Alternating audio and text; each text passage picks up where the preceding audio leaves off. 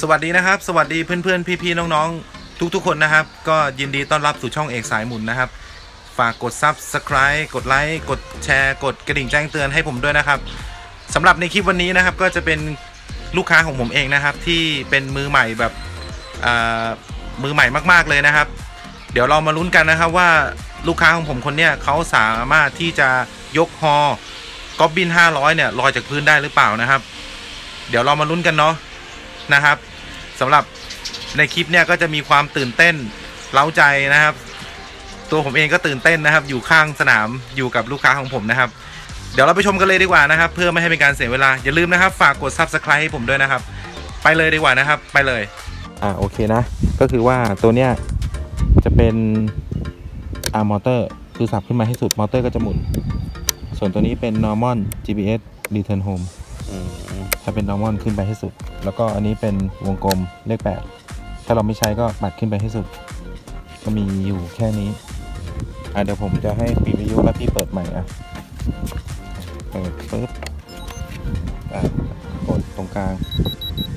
เอาสติ๊กลง อ่าโอเค พร้อม อ่า ตอนนี้ก็เอามาเสียบแบต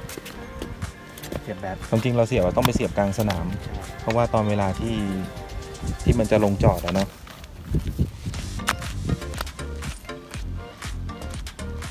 เสียบก็ให้ให้หน้ามันหันไปทางนู้น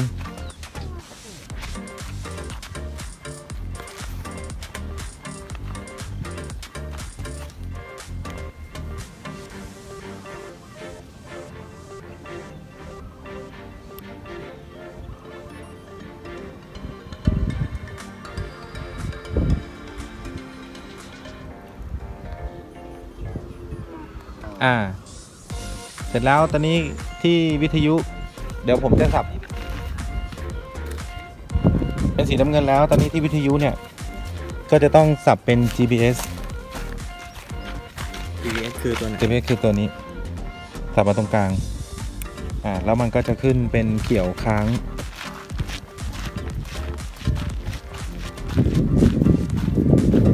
ถ้ามันขึ้นเขียวค้างก็คือก็ ได้เลยตอนนี้มันยังเป็นส้มกระพริบอยู่ ส้มกระพริบอยู่ ต้องรอสักนิดนึงอะตอนนี้เขียวค้างแล้วอะตอนนี้เราก็ดึงตอนตัวนี้นี้เราใช่ไหมก็ยังต้องแหกสติ๊กก่อนอ๋อก็แหกติ๊กตัวนี้ครับนะแหกติ๊กแหกสติ๊กนี้เขียวก็จะกระพริบครับแหกแหกออกไปครับ อ่าค้างไว้อ่ากระพริบแล้วรีบสับตัวนี้ขึ้นเลย เขาก็จะหมุนใช่ไหมมันก็จะหมุนเลยที่มายืนตรงนี้อ่ารอสักครู่หนึ่งเดี๋ยวมันจะหมุนอ่าวหมุน รักษาเวลาในการบินนิดนึง แบตมันไม่ค่อยดีอะเนอะพี่อ่าอืมแล้วเราก็ก็บินตัวนี้ขึ้นอ่าค่อยๆเร่งขึ้นอ่าโอเค ก็บินได้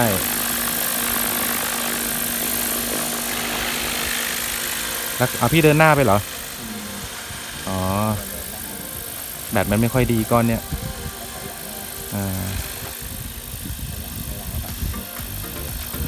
มันก็จะนิ่มๆเหมือนนะรอบไม่แรงเกินไม่ไม่แรงแล้วไม่เบาเกินไป อ่า อ่าลง ก็แค่นี้ก็รู้แล้วเนาะ อ่า ลงเสร็จปุ๊บแล้วก็ตัวนี้ก็อันนี้ก็สับ อ่า สับตัวนี้คืนไป เราแบตออกแล้วก็เอาแบตออกจบในการบินเท่านี้เดี๋ยวด้วยฮะเดี๋ยวต้องพี่ต้องซื้อแบตใหม่แล้วล่ะ ดูแล้วแบตตัวนี้มันเริ่มบวมแบตออกเอาเบามาเอาแบตออกมาเอาแบตออกแล้วก็ปิดวิทยุก็เสร็จอะดึงแบตออก ผมต้องให้พี่ทำเองไงจะได้จะได้แบบว่าจะได้เรียนรู้ด้วยตัวเองโอ้ my god เนี่ยเวลาอันนั้นโอเคเดี๋ยวก่อนเดี๋ยวก่อนเดี๋ยวเพิ่ง อะอะอ่าตอนนี้วิธีการเล่นนะ ถ่ายเลย วิธีการเล่นก็คือเจ้าตัวก็บิน500นะกับวิทยุตัวนี้นะ อันนี้มันจะไม่เด้งดึงดังอยู่ตรงกลางครับนะครับ ไม่เหมือนตัวนี้อันครันี้บมันจะมีนี่นะครับ อ่าเสร็จปุ๊บเปิดวิทยุครับ อันนี้ก็จะเป็นตัวตัดโฮนครับ ปกติที่ก่อนจะเล่นอะเราต้องตัดโฮนอันนี้ผมเล่นผมเล่น stick สี่ผมเดี๋ยวผมเดี๋ยวผมจะปรับคืนให้ อันนี้คือ rudder อันนี้คือ aileron ไม่เอาเอาเอาเหมือนที่คุณเล่นน่ะจะได้อธิบายง่ายอ่าๆโอเค ก็คือก็คือดึงสีเหลืองขึ้นอ่าดึงสีเหลืองขึ้นหลังจากที่เปิดวิทยุแล้วอะดึงสีเหลืองขึ้ขึ้นนสีเหลืองขึ้นอะอ่าเสร็จแล้วตอนนี้เราก็เสียบแบบเสียบแบบต้องเสียบโค้ดแดงก่อนนะ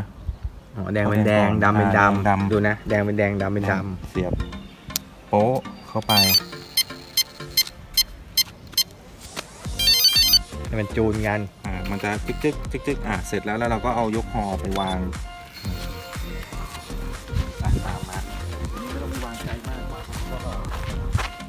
ครับไม่เป็นไรครับเอานู้นก็ได้ครับ อันนี้จะบินแค่ฮอปเดินทาง ไม่ได้บิน 3D นะอ่าเพราะว่าจับนี้ไม่เอาผมเอาละเริ่มแล้วนะไม่ถนัดอ่าเสร็จปุ๊บอ่าเสร็จปุ๊บเอานี้ลง คือเขาเอาตัวนี้ลง อ๋อลงเหรอ ลงปุ๊บเขาจะหมุนใช่ไหมแล้วเราก็เร่งมาเลย อ๋อ ตอนเวลาเราเร่งอะเร่งมาตรงกลางรอไว้เลยก็ได้อ๋อมันจะได้พิษศูนย์มันจะได้ไม่ต้องไม่ต้องดูดลงดิน เออหางมันจะปัดไปปัดมาอ่าแล้วก็แล้วก็แต่งอ่าแล้วก็แต่งนิดนึงอ่าเนี่ยครับโอ้หวานฉ่ำนี่ก็ใช้ฝีมือนิดนึงเวลาบินเดินทางบินอะไรก็แต่ว่าถ้าถ้าถ้าถ้าพี่เป็นมือใหม่ไม่เป็นนะไม่เป็นถ้าพี่ยังไม่เป็นก็บินหนีไปก่อนฮอปขึ้นมา ตอนปล่อยวิทยุปุ๊บแล้วก็แล้วก็แต่ง เดี๋ยวล องผมนะอ่าเดี๋ยวนี้เดี๋ยวพี่ลอง เดี๋ยวพี่ลองพี่ก็ต้องมาเล่นสติ๊กสองสติ๊กสองก็คือว่าลัดเดอร์จะอยู่ซ้ายลัดเดอร์จะอยู่ข้างข้างซ้ายแอรอนจะอยู่ข้างขวา จอดไม่ดีนะเนี่ยผมเนี่ยไม่เป็นไรไม่เป็นไรครับไม่เป็นไรเดี๋ยวลองดูว่ายกเข้ามาก่อนอันนี้พี่จะบินละพี่จะต้องเล่นเหมือนลำนั้น ลำนั้นก็คือที่พี่เล่นอะก็คืออันเนี้ยหมุนหาง ใช่ไหมอะแล้วอันนี้ก็คือแอรอนอ่าแต่แต่เมื่อกี้ที่คุณเล่นวันนี้หมุนหาง อ่านี่หมุนหางอันนี้คือแอรอนมันจะมันจะจะจะจะต้องเป็นของพี่ละไม่ไม่เป็นไรเอาก็เอาเอาความเข้าใจของเราก็ได้ผมปรับได้พี่เล่นได้เหรอ ไม่เป็นไรแต่อันนี้อันนี้ก็คือ อันนี้ครับคือเดินหน้าครับ ถอยหลังอ่าอันนี้คือหางซ้ายใช่หางขวาอันนี้เดินหน้าถอยหลัง อ๋ออัอันนี้หน้าหลัง อ่าอันนี้อันนี้หมุนหมุนตัว อันนี้แอรอนซ้ายขวา อันนี้คือสติ๊กสี่อ่าแต่ถ้าพี่เล่นแบบเหมือนลำนั้นอืมเดี๋ยวพี่พี่ต้องเล่นเหมือนลำนั้นดีกว่าเพราะว่าลำนั้นเดี๋ยวก็พี่จะคืหลอง ลำถ้าลำลำนั้นั้นนก็ก็คืคือออัอันนี้ อันนี้หมุนอันี้ตัว คือหมุนหางคือขึ้นลง อ่าขึ้นลง ขึ้นลงขึ้นลงใช่ไหม ใช่ แล้วก็หมุนหาง อืมหมุนหางก็คือฮอร์มนก็จะมันก็จะหมุนแบบนี้อ่าอ่าอ่าอ่าอ่าแต่ถ้าแล้วแล้วอันนี้ก็อันคืนี้ออันนี้ก็คือ เอียงอย่างนี้มอย่างนี้อืมอย่างนี้อืมอ่า แล้วก็เดินหน้าถอยหลังนี่ก็อย่างนี้อืมอืมอืมอย่างนี้เอาเอาเอาเอาเอาตามเอาตามเนี่ยเอาตามที่กูกำลังปัดผมเนี่ยคือมันต้องคือมันจะเป็นอะไรก็แล้วแต่เรามาเรียนรู้สักพักหนึ่งแล้วเราก็ทำได้พี่จะได้บินเหมือนลำนู้นไงครับอืมอ่าเสร็จแล้วแล้วเราก็เสียบแดงเราไม่ต้องเอาออกก็ได้อ่าคอยเสียบดำทีเดียวเลยครับ ตัดนี้ด้วยนะ อย่าลืมนะเสียบโป๊ะอืมเดี๋ยวผมจะยืนข้างๆพี่ พี่ค่อยเร่งขึ้นมาเดี๋ยวผมจะค่อยๆประคองตัวนี้ให้อ่าอะโอเค ลองนิดเดียว เดี๋ยวเราจะรู้ลองนิดนึงลองไม่ลองเยอะลองไปไปไปตรงหญ้าดีกว่าครับห่างๆนะมันหยุดถ่ายได้ยัง ถ่ายเลยถ่ายเลย พี่ อันนี้อันนี้คือเร่งอันนี้คือเร่งเร่งอันนี้คือเร่งเร่ง แล้วแล้วถ้าไปตรงนี้ก็คือหมุนหมุนหางอ๋อหางขยับอ่าหางมันจะหมุนโอเคโอเคอ่าอันนี้คืออันนี้คือโฮมคือดับดับ อันนี้คือเปิดอ่าใช่ไหมใช่ ถ้ามูมันลงจอดปุ๊บเราก็ต้องกระดิกขึ้นมาอย่างเงี้ยถูกต้องครับเอานะเอายากโอเคอาจจะลึกๆใจเย็นอ๋อไม่ไม่เป็นไรครับไม่เป็นไรไม่เป็นไรไม่เป็นไรเนาะอันนี้ใช่ไหมอืม อะ ลองดู ยังมีอีกสองลำอยู่ที่บ้านไม่ต้องห่วง เอาให้ได้อะ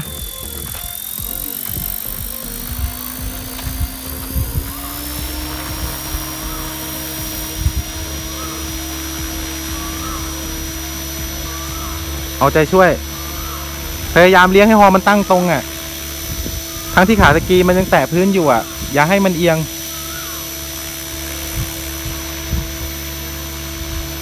อ่า พยายามอย่าให้ฮอเอียงนะ อย่าให้มันเอียง อย่าเอียงขวาแล้วเนี่ย เริ่มเอียงขวาแล้วนี่แล้วก็ดึงซ้ายหน่อย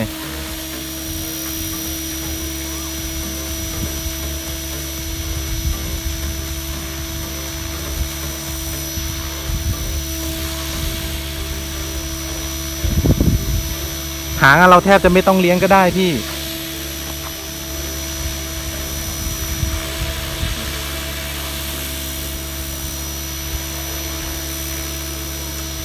จะลอยขึ้นไหมเนี่ย จะลอยขึ้นไหมอีกนิดเดียวจะลอยขึ้นล้วอีกนิดเดียวจะลอยแล้วไอายถ้ามันถ้ามันถ้ามันออกเอียงมาข้างหลังพี่ก็เดินหน้า ถ้าออกขวาพี่ก็คือกันกันกันกันคืนน่ะ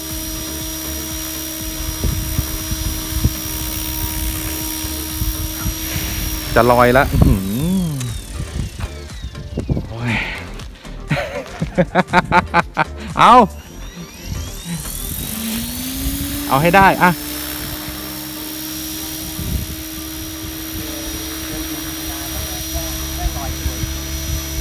คือถ้าลอยขึ้นมาแล้วแล้วเรารู้ว่าเราหลง เราก็เอาฮอลง ตอนเนี้ยอยากให้ฮอเอียง อยากให้ออมันเอียงซ้ายเอียงขวาให้ เออดึงหางคืนกลับมา อ่า พยายามให้หางมันหันหาตัวเรา เดี๋ยวเราเดี๋ยวหลง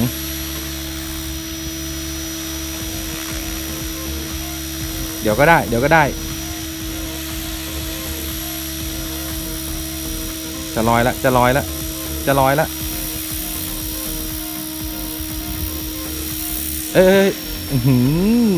เนี่ย พอมันลอยขึ้นมา มันจะไปข้างหน้าใช่ไหมแล้วก็ดึงหลังนิดนึง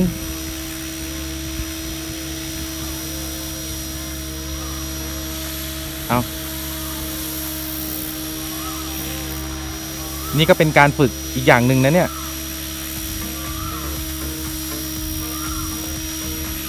จะลอยแล้วจะลอยแล้วพยายามอยากให้ฮอเอียงอะพยายามอยากให้ฮอเอียง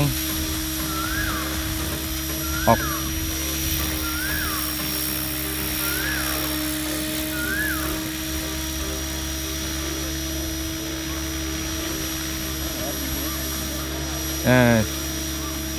GPS มันง่ายไง แต่พออย่างนี้มันมันมันจะต้องกันตลอดไงออกก่อนแดงแดงแดงแดงอ่าแดงแดงก็แดงดำก็ดำอืม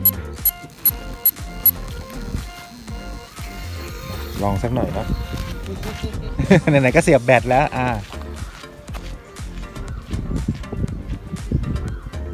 อันนี้เราไม่ต้องรอไฟเขียวไฟอะไรทั้งนั้น เราบินได้เลย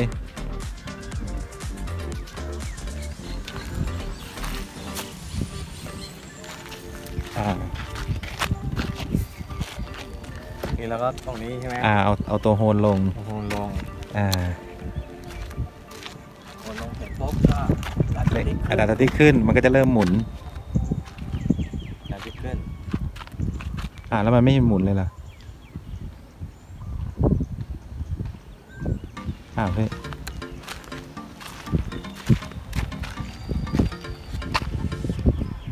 เดี๋ยวเราเอาขึ้นใหม่สิพี่ เนี่ยนะ เอาลงใหม่ อะเร่ง ผมว่าแบตผมว่า ผมว่าแบตมันมีปัญหาแล้วมั้งเนี่ย เดี๋ยวดูแบตกัน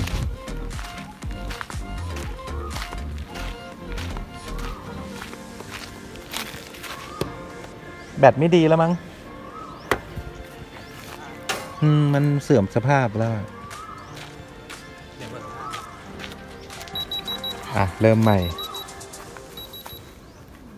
อะแซฟห้าห้าร้อยแดงก่อน แน่นๆนะเสียบแน่นๆนะอ่าแล้วก็มาเอดอเมื่อกี้อาจจะไม่นั่นก็ได้ำก็น่าจะใช่นะนะ รอให้มันเซ็ตตัวก่อนนะ แล้วค่อยยกไปน่าจะไม่แน่นมาก ตอนนี้มันเซ็ตตัวมันก็จะจึกจึกอ่าวแล้วทำไมมันไม่เซ็ตตัวเลยล่ะ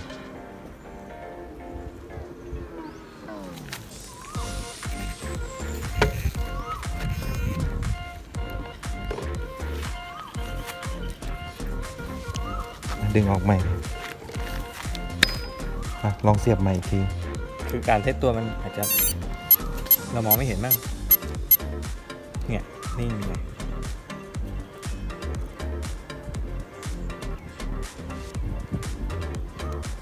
ปกติต้องยิกยิกยิกยิกนะอืมใช่ไหมลองพี่ลองดึงออกแล้วปิดวิทยุไปอะโอเค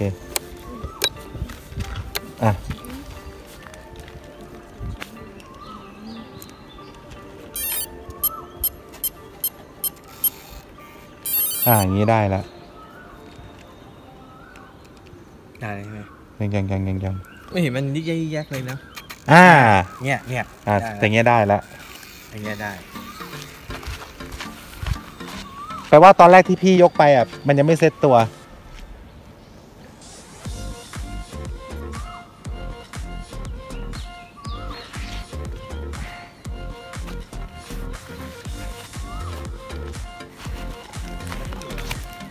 ต้องอยู่กับมันสักหน่อย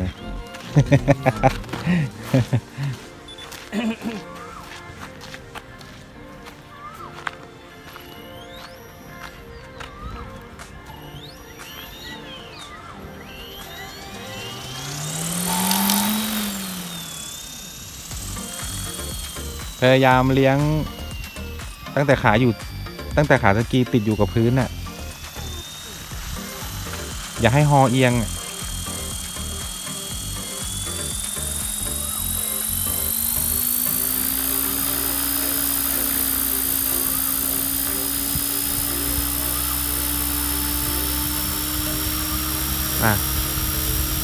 ได้แล้ว อาการดีแล้ว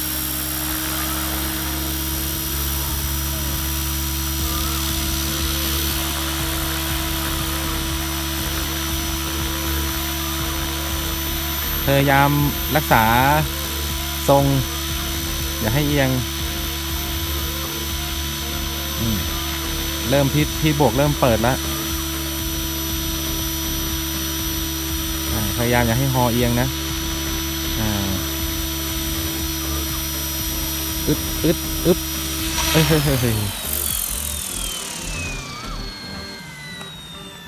อะ ไม่เป็นไร เอาใหม่ พยายามหันห่างหาตัวเอง อ่า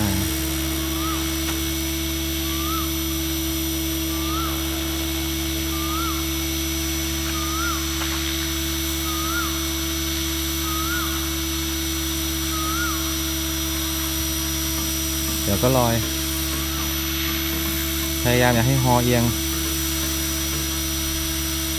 พยายามแต่งตลอด อ่า แต่งนิดเดียว อึ๊บขาตะกี้จะจะลอยละ จะลอยละ อีกนิดเดียว พอมันลอยปุ๊บเนี่ยเราก็แต่งแต่ข้างขวาอย่างเดียวเลย ข้างซ้ายไม่ต้องไปยุ่งกับมัน เอ้อเอ้ยเออเออเออเออ ลอยแล้วลอยแล้ว โอ้โหลุ้นแทบเหงื่อแตกเลยโอ้โห อะ ไม่เป็นไรอะลอยขึ้นมาแล้ว ตอนเวลาลงที่ลงกระแทกแรงไปหน่อย ตอนมันลอยขึ้นมาแล้วเราก็แต่งมันด้วย แต่งแม้กระทั่งขาตะกี้มันแตกกับพื้นอะ เออจะลอยแล้วจะลอยแล้วจะลอยแล้วลอยแล้ว ถ้าถ้าถ้าไม่ดีแล้วก็ลงจอดก่อนเออที่ขาตะกี้มันแหกว่ะข้างหลังอะหรือเปล่าวะมันขาสกีมันแหกว่ะ ก็สรุปแล้วนะครับ ลูกค้านะครับที่เป็นมือใหม่ก็สามารถที่จะยกฮอขึ้นมาได้แค่ประมาณ 2 วินาทีนะครับ ยกขึ้นมาปุ๊บแล้วก็ลง พอช่วงที่ลงปุ๊บขาสกี มันหักนะครับพอดีไม่ได้ถ่ายคลิปไว้ให้เพื่อนๆได้ดูเนาะมันหักมันหักทางด้านหลังนะครับ ก็เสียหายไปนิดนึงนะครับ แต่โชคดีที่เบรดกับใบหางไม่เป็นอะไรนะครับ ก็สำหรับมือใหม่นะครับ ก็ต้องฝึกกันต่อไปเนาะนะครับ ก็สำหรับในคลิปนี้ก็ขอขอขอบคุณเพื่อนๆทุกๆคนที่เข้ามารับชมนะครับ แล้วก็ฝากกด subscribe กดไลค์กดแชร์ กดกระดิ่งแจ้งเตือนให้ผมด้วยนะครับ เจอกันใหม่ในคลิปหน้านะครับสำหรับ วันนี้สวัสดีครับ